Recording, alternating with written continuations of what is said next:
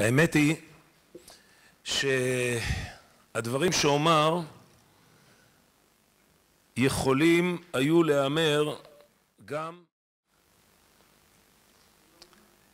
כתורה שלמה על דברים שכתב אדמו"ר הזקן בשער האיחוד והאמונה.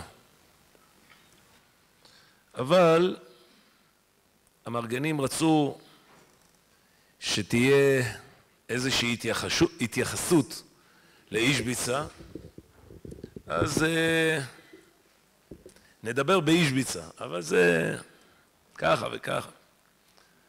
הדברים הם פחות או יותר אותו הדבר. אסביר מיד כיצד הם אותו הדבר וכלפי מה הדברים מכוונים. אחד התחומים שעליהם נתפסה תורת איש ביצה הוא הנושא של הבחירה החופשית. האשימו את אדמו"ר עמי השילוח במה שמכונה, אה, לא, לא בצורה ישרה, לא בצורה מדויקת, דטרמיניזם. זה לא ממש דטרמיניזם, צריך להיכנס יותר להגדרות, אבל אני לא נכנס לזה עכשיו, זה לא הנושא שלי.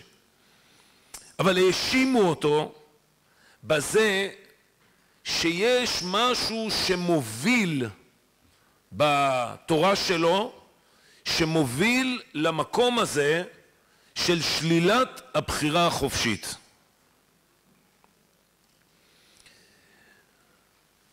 אני, כדי אה, רק אה, לסבר את האוזן וכדי לצדק את עצמי שאינני מתפרץ לדלת פתוחה סתם, אה, אקריא מתוך, ה... מתוך הרבי הגדול, הרבי רב גוגל, וכך כתוב: לפי זה, אני לא, אני לא נכנס להקדמה, גם רצונותיו והכרעותיו של האדם, אף על פי שהם נראים לו כהכרעות אישיות שלו, לאמיתו של דבר אינם אלא דבר אלוקים. מכך מתבקשת תפיסת עולם דטרמיניסטית הגורסת שתחושת הבחירה החופשית איננה אמיתית. אשר למהותה של הבחירה החופשית העומדת בבסיס קיום המצוות קיימים רמזים סותרים בספרי עמי השילוח וההוגים במשנתו הציעו דרכים שונות בביאור העניין. זה ויקיפדיה מפורש. הדיבורים האלו הם דיבורים שהם אה, הם נמצאים, הם נמצאים. אז זה נכון שאיש מאיתנו לא ידבר את הדיבורים האלו בבית המדרש, אבל בחוץ מדברים. וכדי אחת ולתמיד להעמיד את הדברים על דיוקם, נראה שיש צורך להתעמת עם הטענה הזאת ולשים אותה במקום. לשים אותה במקום באמת, באמת, באמת, מה כאן, מה אומרים כאן. למה אני מתאמץ בזה? אני מתאמץ בזה משום שהעניין של הבחירה החופשית הוא עניין יסודי בעניין של לקיחת האחריות על מעשיו של האדם. הרמב"ם הביא את הנושא של הבחירה החופשית בהלכות תשובה. ובהלכות תשובה זה נמצא משום שהרמב"ם רצה להוביל לאיזושהי תוצאה. והתוצאה היא שכיוון שכל אדם יש לו בחירה חופשית, הרי שהאדם אחראי למעשיו, ומכיוון שהוא אחראי למעשיו, הרי שהוא יבוא עליהם במשפט, וכיוון שיבוא עליהם במשפט, מן הראוי שיתוודה על מעשיו ויחזור עליהם. יש כאן משנה שלמה שאומרת, אתה לא יכול להפקיד את הבחירה החופשית ולבוא ולהגיד אין דבר כזה, ואני לא מתייחס לעניין הזה של בחירה חופשית, כביכול אין, חלילה. מה יהיה עם כל עולם המצוות? מה יהיה עם האחריות? אדם עושה מעשה, יש צורך לדון אותו. אם אין בחירה חופשית, על מה אנחנו דנים? זה א' ב'. הרמב"ם שהתמודד עם הבעיה הזאת של הגזרה הקדומה מול הבחירה החופשית, אמר תשובה שגם מסביבה יש מקום לדון, אבל הוא אמר תשובה אה, או סוג של התייחסות, נקרא לזה ככה, כדי לא להיכנס עכשיו לכל מיני דיונים, אמר סוג של התייחסות, ואז הוא אמר, כיוון שהדברים האלו אינם ברורים, היסוד או השורה התחתונה, מה שאתה צריך לדעת, זה שמעשיו של האדם מסורים לו. דע לך יש לך אחריות על המעשים שלך, נקודה. כאילו, שלא יעלה על דעתך שבגלל זה שיש איזושהי קושייה ובגלל שתשובת הדבר הזה היא ארוכה מארץ מידה ומכיוון שזה נראה כאילו הקושייה הזאת לא זכתה לאיזשהו תירוץ הוגן אז אולי ייראה בעיניך שאולי, אולי אין בחירה חופשית, נה נה נה נה נה תענה על השאלה הזאת אשר תענה, אבל בחירה חופשית לאדם יש. מעשיו של האדם מסורים לו. היה לו חשוב לרמב"ם להתעקש על הדבר הזה ולומר שיש כאן אחריות ויש כאן מעשים שמסורים לאדם ומכיוון שיש מעשים שמסורים לאדם הרי שהוא בא עליהם במשפט. עבורנו הדיון הזה הוא דיון חינוכי מהמעלה הראשונה. אנחנו באים עם עצמנו בדברים, ואנחנו באים עם חניכינו בדברים, על לקיחת אחריות על המעשה. לקיחת האחריות לוקחת אותנו למקום שבו אין הפקרות, אין איזה מין אמירה, זה היה ככה, צריך לקרות. לא, קח אחריות על המעשה שלך. זאת, זאת האמירה, והאמירה הזאת היא, אמירה חינוכית מהמעלה הראשונה. לפני זמן רב היה איזשהו משפט בארצות הברית, ברוך אתה אדוני אלוהינו מלך העולם שהכל נהיה בדברו. היה איזשהו משפט בארצות הברית של קבוצה של נערים שניסתה לבצע פשע מושלם. אה, עשו את כל הפטנטים ו... כנראה שזה לא היה כל כך מושלם כי בסופו של דבר תפסו אותם. אבל העורך דין שלהם נקט איזושהי עמדה שהלכה לכיוון הזה שהרצח הזה היה תוצאה בלתי נמנעת של כל מה שהנערים האלו עברו משחר ימיהם ועד היום.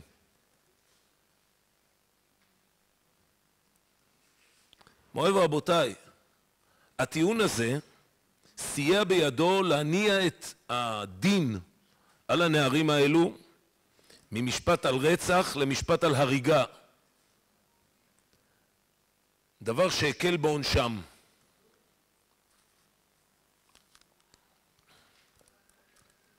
לא היה נמנע. הורדת אחריות, הקלה באחריות, דבר נורא. בעבורנו דבר נורא.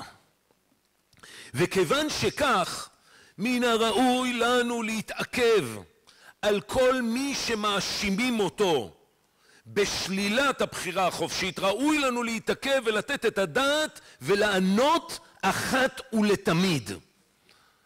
אני, אני אתיימר להיות... אה, להיות אה, אפילו מאוד מאוד תקיף בדבריי ולומר שהאומרים כך על דעתה של החסידות בכלל ועל דעתו של הרבי עמי השילוח בפרט לא מבינים משהו מאוד מאוד מאוד בסיסי במה שהם לומדים. זה לקות בהבנה. עד כדי כך שאני לא מבין איך בן אדם רוצה להצהיר על עצמו כאדם מלומד והוא אומר לקות כזאת בהבנה. לא יכול להיות. והנה בא אני פה היום לפניכם כדי להציע את ההבנה במה שנאמר. כדי לבאר את הדברים, אנחנו צריכים דבר ראשון להיכנס לתוך כבשונה של תורת החסידות. כבשונה של תורת החסידות אומרת, אם היינו צריכים להגדיר את זה כמו שאמר שמה אותו גר, למדני כל התורה כולה על רגל אחת, תן לי את כל תורת החסידות, אז מסתבר שהיינו נוקטים באחת משתי לשונות.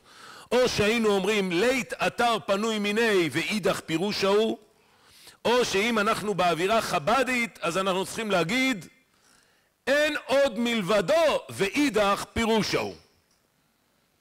כשהאמירה אין עוד מלבדו היא אמירה מוחלטת, לא, אלא אמירה מוחלטת. באמת, כשאני אומר באמת, אני נזכר במספר הפעמים שאדמו"ר הזקן כותב בשער האיחוד והאמונה את המילה ממש. עין ואפס ממש, ממש, הוא חוזר על עצמו כמה פעמים, ממש, ממש, ממש. מה הוא רוצה להגיד באמירה הזאת של הממש הזה? מכיוון שהתפיסה של האין עוד מלבדו איננה מדברת על מעבר מדבר בנוי לדבר חרב. אלא היא מדברת על המעבר מן העין אל היש ומן היש אל העין. זו, זו נקודת המעבר. וכשאנחנו מדברים על זה שאין עוד מלבדו, זאת אמירה שהיא אולי האמירה האבסולוטית, המוחלטת ביותר, שניתנת להיאמר. אין עוד מלבדו. שום מציאות איננה קיימת מלבדו.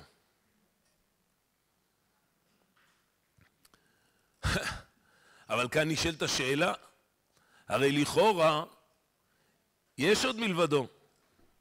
הרי אני עומד פה לפניכם ומדבר. לפניי מונח הפודיום הזה, ולפני שתי דקות בירכתי שהכל על בקבוק מים. יש עוד מלבדו. זה לא נכון שאין. איפה זה נמצא? אז מה באמת האמת? מה באמת האמת? ובכן האמת שאין עוד מלבדו. וכיצד נברא העולם? העולם נברא על בסיס התודעה. אנחנו נמצאים בתוך עולם שמה שחוצץ בינינו ובין ההכרה שאין עוד מלבדו ממש, זו התודעה שלנו. בתודעה שלנו אנחנו חיים. בתודעה שלנו אנחנו קיימים, בתודעה שלנו אנחנו קולטים את כל היש, בתודעה שלנו כל היש קיים, הכל בתודעה שלנו שנוצרה במגמה של הפרדה בין האלוקות לבינינו. תודעה מפרידה, אבל עיקר העבודה נעשית בתודעה, לא בשום מקום אחר. אין עוד מלבדו באמת, ממש. אין שום דבר. איי, יש, פה יש. פה, בראש, יש. התודעה היא זו שיוצרת את ההבחנה בין העין לבין היש, התודעה. וזה הדבר המרכזי. כל העבודה של האדם בימי חלדו, היא עבודה תודעתית. התיקונים שנעשים, התנועות שנעשות, העליות מדרגה שנעשות, כולן הם עליות מדרגה בתודעה עד כמה אני מצליח להתקרב אל ההכרה המוחלטת שאכן אין עוד מלבדו. ומסביב לזה עבודת חיים. וזה קשה, משום שכל היש צועק אל תוך התודעה שלי, יש עוד מלבדו, יש, יש, יש, ואני ממשש, ואני רואה, ואני שומע, וכל הזמן יש לי את ההתמודדות הזאת בראש. אז מה האמת? אז מה האמת? והמשפט עומד ומהדהד למולי, אין עוד מלבדו. אין! אין ואפס ממש. בלא הנוכחות האלוקית, כביכול אם יש מציאות כזאת שבלא הנוכחות האלוקית, הרי שכל הנמצא הוא אין ואפס ממש, כך כותב אדמו"ר הזקן בשער האיחוד והאמונה. רק מה? בראש. והאמת היא שכל אחד ואחד מאיתנו עושה עבודה גדולה מאוד על המסלול התודעתי. יש שנשארים למטה מאוד, ובשבילם באמת כל היש הוא יש ממש נוכח, מציאותים, אפילו לא יכולים לחשוב אחרת. ויהיו אחרים שלאט לאט ילכו ויאפסו את היש, יעיינו את היש. איך הם יעשו את זה? בתודעה. יש את הסיפור בגמרא על קבוצה של חכמים שהלכו לראות את החילות של הקיסר עוברים, באו הביתה אחר כך, אז האבא שואל אותם מה ראיתם? אז אם אינני טועה, רב חייא עונה שהוא ראה, הם כנראה היו לבושים במדים לבנים. אז רב חייא אומר שהוא ראה ברווזים לבנים. האבא תמה, הוא אמר, עד כדי כך נתן בהם חייא בני, ממש? מה זאת אומרת? היו שם חיילים או ברווזים לבנים? השאלה היא מה אתה רואה. השאלה היא באמת מה אתה רואה. והשאלה מה אתה רואה היא שאלה תודעתית. והתביעה כלפי מי שרואה כאן ברווזים זה עד כדי כך נתן בהם חייא בני ממש על הסקאלה של התודעה בין היש לבין העין הוא נעצר בגודל של ברווז. שם הוא נעצר. ועד כדי כך הוא נתן בהם ממש. יש כאן כאילו איזושהי שאיפה לבוא ולהגיד אין, אין, לא היה שם שום דבר, כלום לא היה שם, לא ראיתי דבר. מספרים, זה מופיע, אם אינני טועה, בתורה אור, בסוף, בסיפורים, במהדורה של, של קהת, מספרים שבעת פטירתו, אדמו"ר הזקן שכב על המיטה בבית, ועיניו מופנות כלפי התקרה.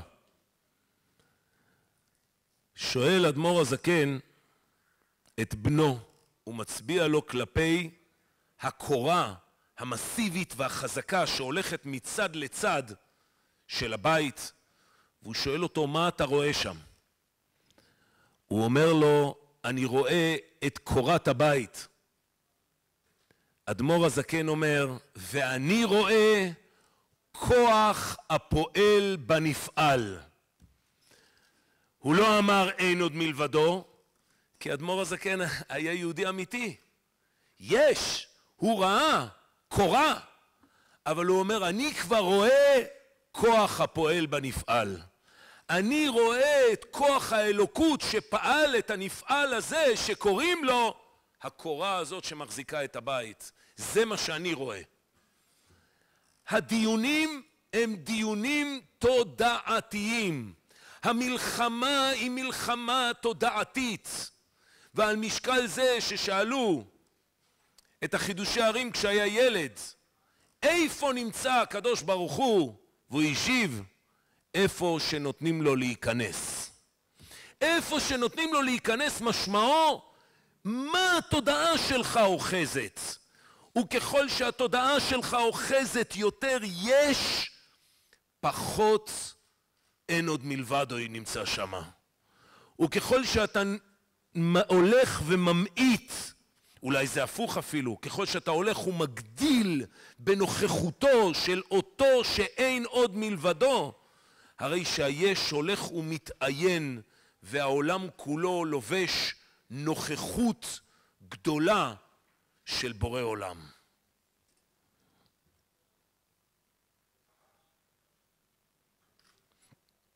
אדמו"ר הזקן, בשער האיחוד והאמונה, שם הוא דן. מה זאת אומרת דן? שם הוא... זה ספר יסוד בכל ההתמודדות הזאת מסביב לשאלת העין והיש. ושם מצטט אדמו"ר הזקן בהקשר של האמת האלוקית ביחס ליש, מצטט אדמו"ר הזקן לא פחות ולא יותר את דברי הרמב"ם בסוגיה של שאלת הבחירה החופשית. לקח אדמו"ר הזקן את דברי הרמב"ם, שאמר שהוא היודע והוא המדע והוא הידוע, ואמר הנה הנה הנה הנה, אתה שומע? ביחס לאלוקות אין שום מציאות חוץ מלבדו. ובאיזה הקשר זה נאמר? בהקשר של הבחירה החופשית. אמור מעתה, יש לעניין הזה משמעות בהקשר של הבחירה החופשית. וכאן אנחנו מגיעים אולי לקטע הקריטי ביותר, הקריטי ביותר של מה שברצוני לומר. יש בחירה חופשית בכל מקום שבו יש יש. אין בחירה חופשית בכל מקום שבו יש אין. פירוש. הבחירה החופשית, כמוה כבריאה, היא תולדה של תחושת הנפרדות של כל ההוויה. בה במידה שיש עולם, יש גם בחירה חופשית. ובה במידה שאין עולם, שהאדם מגיע באמת להשגה, וזה דבר שלא קורה, אבל אדם מגיע באמת להשגה שאין עוד מלבדו ממש, שם גם אין בחירה. ואם נאמרו דברים בתורת החסידות על עניין שלילת הבחירה, הם נאמרו על הציר של עניין של שלילת המציאות. כלומר, מה זאת אומרת מציאות? מציאות זה עניין תודעתי, קיומה של המציאות תלוי בתודעה המפרידה בין בורא עולם, בין אין עוד מלבדו, לבין המציאות. בזה תלויה המציאות, הקיומיות של המציאות תלויה בעניין הזה. באותה מציאות תלויה גם הבחירה. מה חשבת? שתהיה גיבור גדול לבוא ולהגיד, תקשיב, לפי התפיסה הזאת אין בחירה. יש לי חדשות בשבילך, ידידי המלומד. לפי התפיסה הזאת אין עולם, ואין אתה, ואין אני, ואין ויכוח, ואין כלום, כי אין עוד מלבדו. לא רק בחירה אין, אין מציאות. אז על מה אתה מדבר? בעולם המציאותי שבתוכו אנחנו חיים, ודאי וודאי שיש בחירה. שוו בנפשכם. שוו בנפשכם. אני לוקח פסנתר ואני מושיב אותו למישהו מכם על הרגל. כשהוא מתחיל לצעוק, אומר לו, תקשיב, אין עוד מלבדוי. אין עוד מלבדוי. זה לא. תקשיב לי, אין בחירה בה במידה שאין פסנתר על הרגל שלך. באותה מידה. אין גם בחירה. זה יונק את, ה, את ההבנה מאותו מקום. המייסה, המייסה עם, ה, עם היהודי, התלמיד חכם, שהכין לעצמו כוס תה בכלי שלישי. ונעבך נשפך על הילד שלו, הכוס תה. הילד עומד וצורח. והוא גוער בו, אומר, מה אתה צועק? זה כלי שלישי, זה לא מבשל.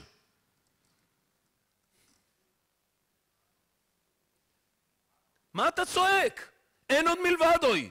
מה אתה צועק? אין פסנתר ואין רגל ואין פה בכדי לצעוק. אה, אתה מרגיש? כן, נכון, יש גם בחירה. זה בדיוק אותו הדבר. ואם נאמרו דברים בתורת החסידות בכלל, ובדברי האדמו"ר המאה, האדמו"ר המאה שילוח בפרט, אם נאמרו דברים שכאלה, הם נאמרו אך ורק בהקשר הזה. אך ורק בהקשר הזה. לבוא ולקרוא משפט אחד, ולבוא ולהגיד, כן, בדברי האדמו"ר המאה שילוח יש שלילה של הבחירה. זה לקרוא ממש ממש קריאה סלקטיבית, זה קריאה חלקית מאוד. אז זה לא מגיע תואר דוקטורט, ממש לא. ככה לא קוראים. את הקריאה, צריך לעשות את הקריאה בכל ההקשר, בכל ההקשר.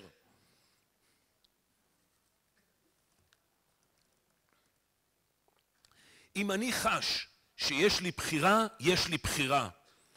בדיוק כמו שאני חש שאני עומד עכשיו פה בבנייני האומה ואתם נמצאים לפניי. בדיוק אותו הדבר. ובעניין הזה יש לי בחירה. יש לגישה הזאת השלכות נוספות. יש לגישה הזאת עוד אה, היבטים כאלה ואחרים, כמו למשל, כמו למשל, שבה במידה שגדולי עולם שאפו להגיע לסוג מסוים של מה שנקרא ביטול היש, מרוב דבקות ברעיון של האין עוד מלבדו, מרוב התחברות אל הנוכחות הבלתי מתפשרת של האין עוד מלבדו, הם נדבקו עם העניין הזה והלכו איתו ממש ממש קרוב מאוד, קרוב מאוד. בהיבט הזה ביקשו הצדיקים שתתבטל מהם הבחירה. בניגוד לתפיסות עולם אחרות ביהדות, שרואות בבחירה איזה מדרגה, גדולי הצדיקים באו ואמרו, תודה, קח את זה ממני. ומדוע? יודע אני מאיפה מגיעה הבחירה הזאת. הבחירה הזאת מגיעה משום שאני לא הצלחתי להשליט את הנוכחות של בורא עולם על כל התודעה שלי. ומכיוון שלא הצלחתי לעשות את ההשלטה הזאת, פתאום נשמע קול אחר. אף כי אמר אלוקים, אף כי אמר אלוקים, אומר הנחש, נכנס איזשהו קול אחר. איך יכל להיכנס קול אחר? אין עוד מלבדו, אין עוד מלבדו. אתה אנוס על פי הדיבור. אתה לא מרגיש, אתה לא מרגיש שאתה מבוטל כל כולך אל הנוכחות האלוקית, אתה לא מרגיש שכל כולך בפעולה מחמת הנוכחות האלוקית, אתה לא מרגיש את זה? באו הצדיקים ואמרו, ריבונו של עולם, הלוואי לא הייתה לי בחירה. לא כל כך בגלל העניין שנמאס לי להתמודד, אלא הלוואי לא הייתה לי בחירה שהאופציה של המרי לא הייתה קיימת. כי אם קיימת אופציה של מרי, מאיפה היא קיימת? היא קיימת כי הנוכחות לא מושלמת. פירוש הדבר שאני מועל חלילה ברעיון של אין עוד מלבדו. אני לא נותן את הנוכחות. ומכיוון שאני לא נותן את הנוכחות, איך כתוב בבעל שם טוב? שכשיהודי רוצה לחטוא, אז הוא הולך וסוגר את החלונות. כביכול מפחד מהאנשים שבחוץ. אבל הוא לא מבין, זה יראת שמיים שמפחדת בו. לא מהאנשים הוא מפחד, מריבונו של עולם הוא מפחד. ועל כגון זה אמר השאת אמת בתחילת ספר במדבר, אומר השאת אמת על המדרש, משל את הצדיקים בדירתם, אומר שם השאת אמת, על הרשעים נאמר והיה במחשך מעשיהם. הם רוצים את החושך. הם רוצים את החושך. רוצים להגיד, ריבונו של עולם, אל תראה אותי עכשיו. דוחקים רגלי שכינה, בחוש ממש. מדוע? כי זה נראה שאם הוא נוכח פה, אז מה זה מפריע ליהנות מכל העבירות ומכל העניינים שאני רוצה לעשות? כי, כי הוא פה, נו, אז... אז תן לי, זה מה שאמר הקוצקאי, שהוא אף פעם לא ראה מלאך חבלה שנברא מעבירה של יהודי שיש לו שתי כנפיים.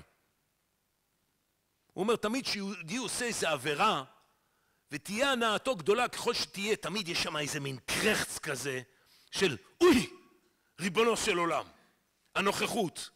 על הרשעים נאמר, והיה במחשך מעשיהם, סוגרים את החלונות. סגירת החלונות הזאת רוצה לאפשר לתודעה נוכחות עצמאית, בודדה, מנותקת מהנוכחות האלוקית, וממילא מאפשרת את המעשה המנוגד, ממילא מאפשרת את המרי.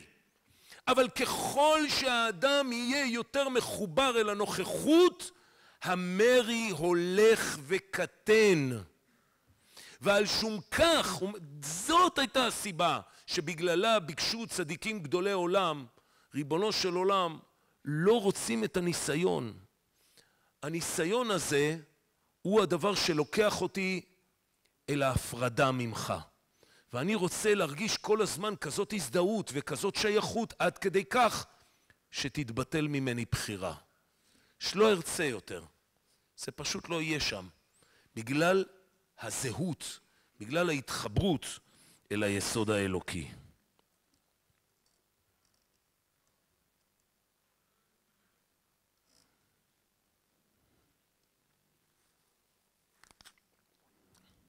אין בחירה. זה משטות. מעשה בגנב אחד, שבא אצל הרבה ואומר לו, ואומר לו, רבלה, אני רוצה שתיתן לי ברכה.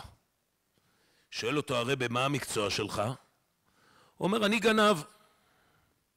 אומר לו הרבה, אתה גנב, אתה רוצה ברכה? אומר לו היהודי, רבה, שאם נגזרה גזרה שיגנב מהפרנס חמישים אלף רובל הלילה, תן לי להיות השליח. ממש אין עוד מלבדוי.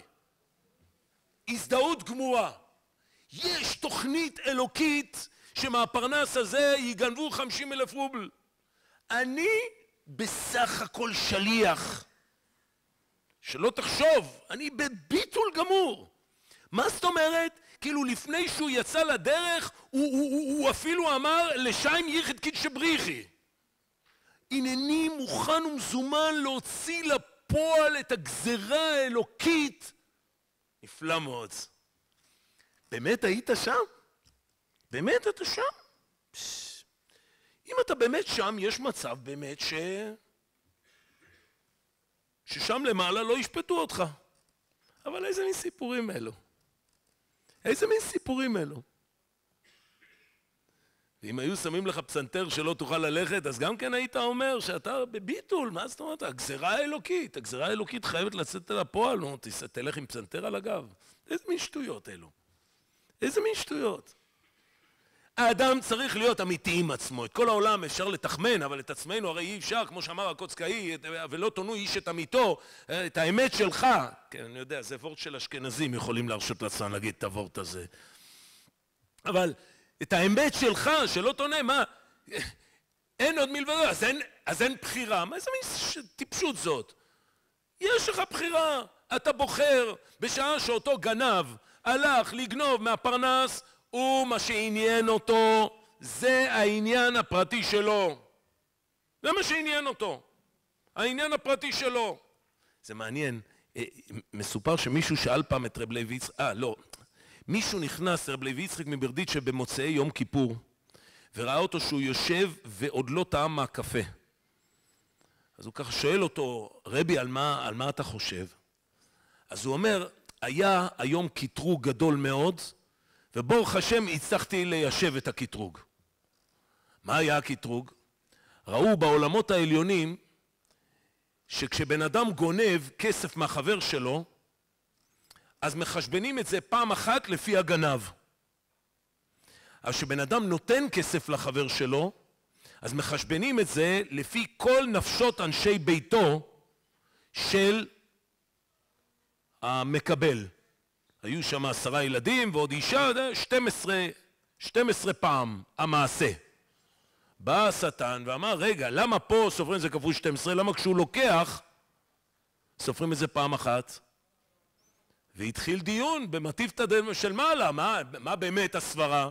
אומר, ואז באתי ואמרתי ככה, כי כשאדם גונב הוא חושב על עצמו, וכשבן אדם נותן הוא חושב על מי שהוא רוצה לתת לו. אז פה צריכים לחשב את זה לפי אלו שקיבלו, ופה צריכים לחשב את זה לפי זה שלקח. אז מה אתה מספר סיפורים על... מה זאת אומרת? לא הייתה לי בחירה. אגב, יש, לה, יש לסיפור הזה על הגנב, יש אה, אה, גרסה ברסלבית. יש גרסה ברסלבית, נקרא וירוש ביט, כך קוראים לסיפור, על האיש שמזלו בגניבה. אחד הלך, וזה היה מסכן, וזה הלך, הגיע שם איזה אחד כזה חוזה בכוכבים, שאל אותו מה אני עושה בכדי להתפרנס, הוא אמר תשמע המזל שלך זה בגניבה. ושם רבי נחמן חוזר על איזה מין, על איזה מין אה, משפט כזה, הוא אומר, יוגוולט, ניש גוולט, וייטר אותר גמחט. כאילו, כן רצה, לא רצה, בסוף עשה. כאילו, כאילו בידי שמיים. כאילו יש גזרה קדומה. זאת האחריות שלך. אתה באמת היית חדור? אתה באמת היית חדור? היה, היה אה, אה, בפשיסחה, הייתה השירה תמרל לבית ברקסון, שהיה לה שדות מחוץ לעיר.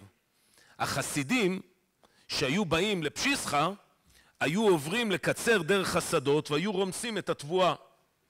הלכה היא ושכרה איזה כמה יהודים שיעמדו על השדה ושיעצרו את האלו שרוצים לעשות, לחתוך ככה דרך השדה. נו נו, הגיעו כמה אצל הרב, הרבי מפשיסחה, הגיעו כמה, כמו שהגמרא אומרת, זה בא עינו חבולה, זה בא ידו שבורה, כל אחד הגיע עם ה... עם הדפיקה שלו. שואל אותם מה קרה, הם מספרים לו את הסיפור, כולם אותו סיפור, על ההוא שהרביץ להם, הוא קורא לו, הוא בא, מתייצב לפניו, אומר לו, תגיד לי, מה אתה עשית? אז הוא מתחיל לתת לו דרוש על שמירה של בן אדם לחברו ועל, ועל הקפדה של ממון אחר. רב שמחה בוני מפשיסחה שמע את הכל ואמר לו בסוף, אתה צודק לחלוטין. יש לי רק בקשה קטנה אליך. לפני שאתה מרים את היד להרביץ, תגיד לשם ייחוד קודשא בריחו. זה כל מה שאני מבקש ממך. שתגיד לשם ייחוד קודשא בריחו. מה הרעיון? תגיד, אתה מרביץ בגלל לשם ייחוד קודשא בריחו, או שאתה מרביץ בגלל שנתנו לך מקל ביד, פתאום אתה מרגיש את עצמך בעל כוח? מה האמת? אנחנו נמצאים, אנחנו חשים, בה במידה שאנחנו קיימים, ולכן לא שייך לדבר את כל הדיבורים האלו על שלילת הבחירה. כשאנחנו רוצים לבוא ולהגיד שאל מול המציאות הקיימת, קיימת המציאות של העין, שהיא נובעת מהמקור הרעיוני של אין עוד מלבדו, ושאנחנו נוסעים על הציר הזה כדי להגיע לשם לנקודה הזו של האין עוד מלבדו, בסדר, אז אני מבין. אבל על הציר הזה בקצה שלו גם אין מציאות. אמרנו. אוקיי. במי השילוח בפרשיות שאנחנו נמצאים בהן ממש,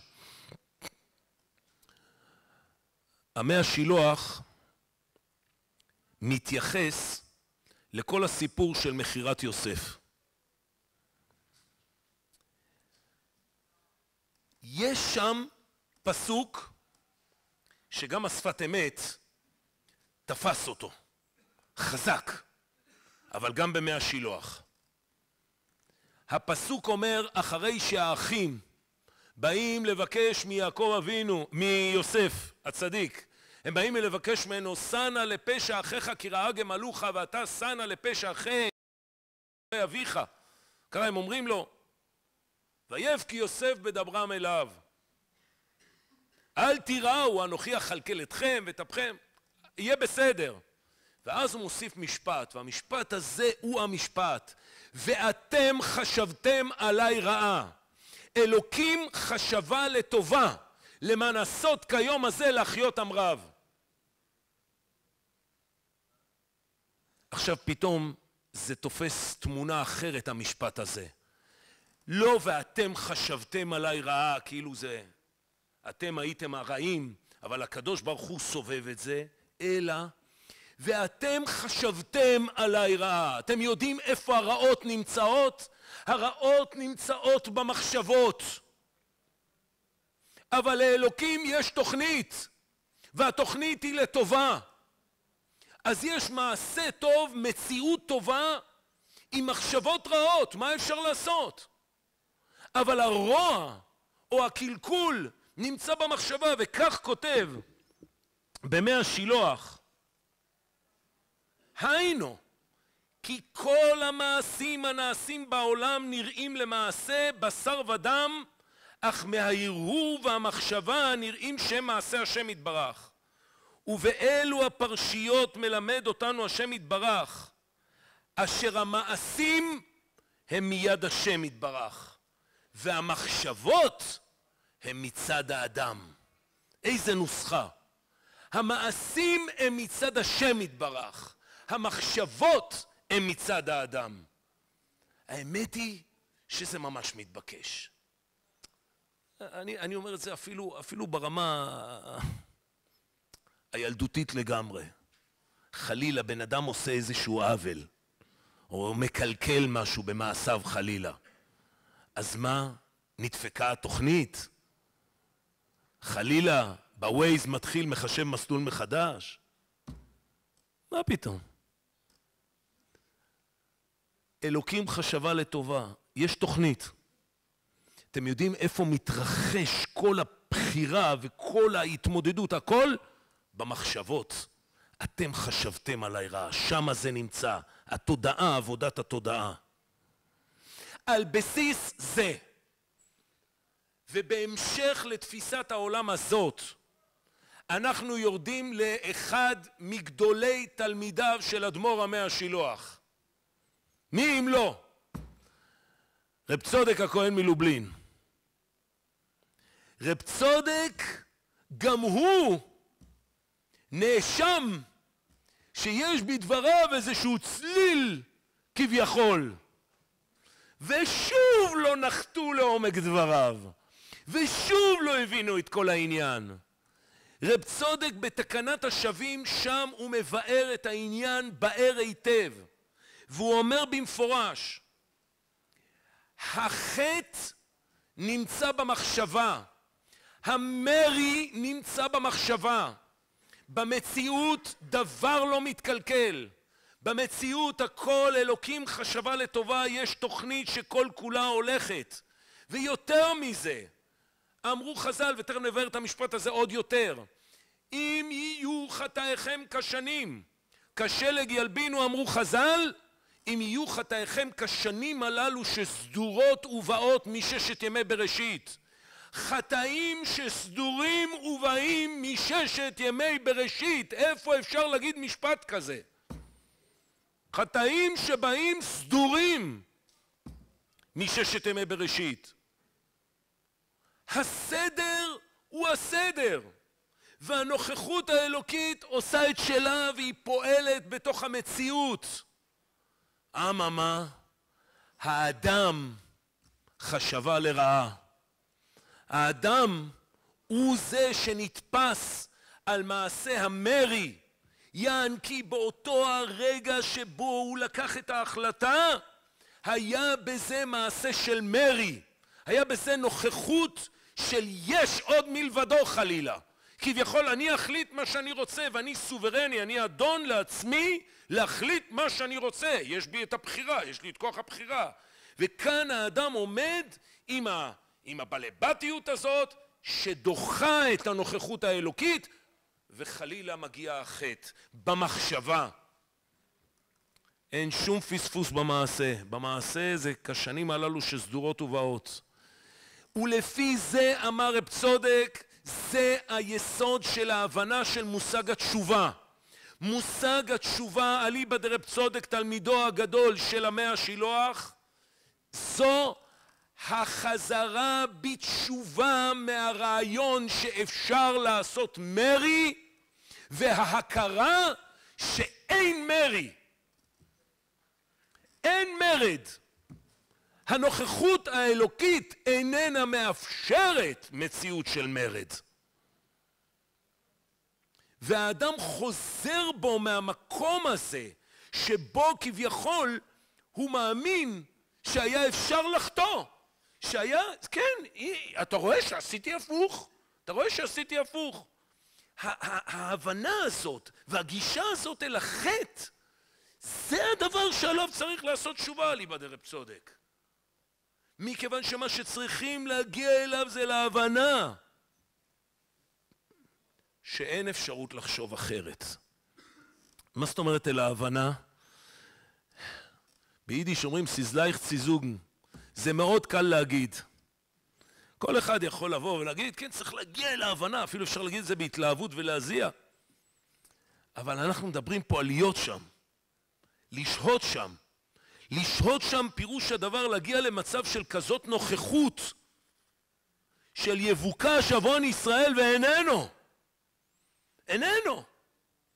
אם יהיו חטאיכם כשנים הללו, שסדורות ובאות מששת ימי בראשית, פירוש הדבר שיהיה כאן איזושהי אה, אה, הבנה שזאת הייתה התוכנית.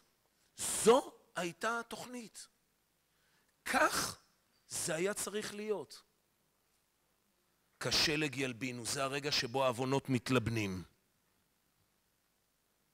לא לתת יותר למציאות של חטא לתפוס מקום, כי המציאות של החטא או המציאות של הבחירה הרעה נשענת על אובדן האין עוד מלבדו.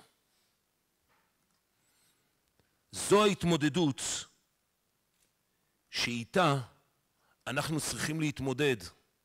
ומסביב לעניין הזה בא רעיון התשובה, אליבא דרב צודק בתקנת השבים מרחיב בזה, מרחיב בזה הרבה. נמצינו למדים. יש אפשרות לתפוס משפט אחד מתורתו של רבי צדוק הכהן מלובלין, ולא רק מתורתו של רבי צדוק הכהן מלובלין, מתורתם של עוד אחרים. יש אפשרות לתפוס משפט אחד ולהפוך אותו לאיזשהו משפט שממנו עולה או במשתמע ועוד כל מיני דברים כאלה.